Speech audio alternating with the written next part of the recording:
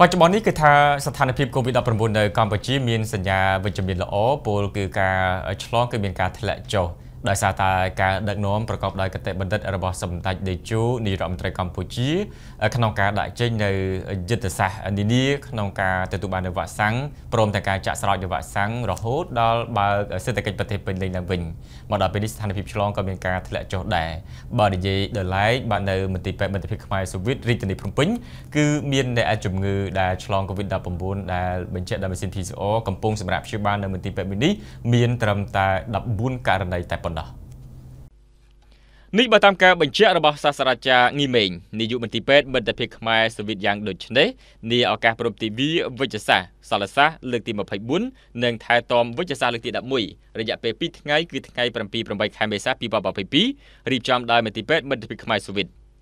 សាស្ត្រាចារ្យងីមេងបានបន្តទៀតថាយើងសង្កេតឃើញហើយរយៈពេលចុងក្រោយនេះស្ថានភាព COVID-19 បានធ្លាក់ចុះយ៉ាងខ្លាំងគឺដោយសារការដឹកនាំនិងបទបញ្ជាដ៏ខ្ពង់ខ្ពស់របស់សម្ដេចតេជោ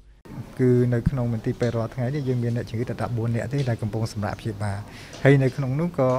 អ្នកជំងឺដែលធ្ងន់ក៏មិនជាច្រើនដែរមានប្រហែលជា3នាក់តែប៉ុណ្្នឹងទេដែលកំពុងតែប្រើប្រាស់ម៉ាស៊ីន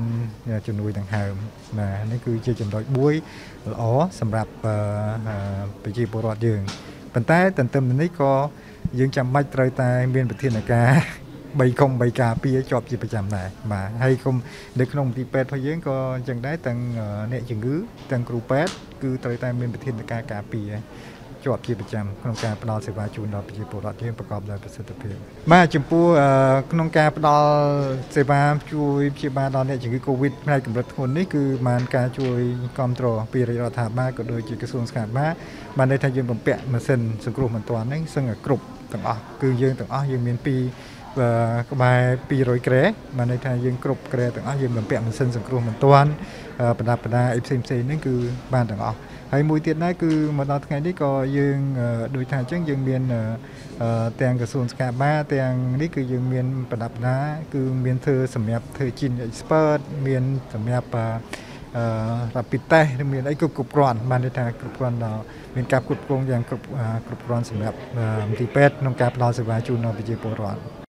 លោកបានបញ្ជាក់ទៀតថាអ្នកជំងឺ Covid-19 ទាំង14នាក់កំពុងសម្រាប់ព្យាបាលនេះគឺឆ្លងមេរោគ Covid-19 បំផ្លែងថ្មីអូមីក្រុងដែលឡែកមន្ទីរពេទ្យមិត្តភាពខ្មែរសូវីតចាប់តាំងពីទទួលអ្នកជំងឺ Covid-19 កម្រិតធ្ងន់ដំបូង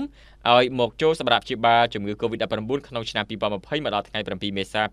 2022សរុបមានអ្នកជំងឺជិត10000នាក់ហើយដែលកំពុងចូលសម្រាប់ព្យាបាលនៅក្នុងមន្ទីរពេទ្យមួយនេះ បច្ចុប្បន្នមន្ទីរពេទ្យមិត្តភាពខ្មែរសូវៀតមានបុគ្គលិកមន្ត្រីរាជការសរុប1307នាក់ដែលក្នុងនោះគឺមានសាស្ត្រាចារ្យ25នាក់វិជ្ជាបណ្ឌិតឯកទេស227នាក់វិជ្ជបណ្ឌិត